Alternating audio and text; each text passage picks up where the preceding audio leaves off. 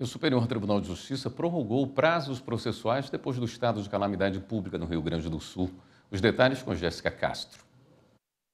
O Superior Tribunal de Justiça prorrogou até 31 de maio a suspensão de prazos processuais devido ao estado de calamidade pública do Rio Grande do Sul e estendeu a medida aos processos em que atuam o Ministério Público e a Defensoria Pública do Estado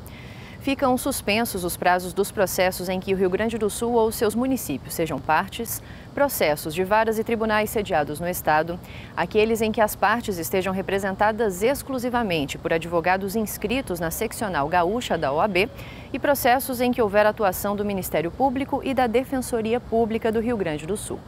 A nova resolução estabelece ainda que serão apreciadas pelos relatores as situações que não se enquadrem nessas hipóteses, mas que estejam comprovadamente afetadas pela calamidade pública.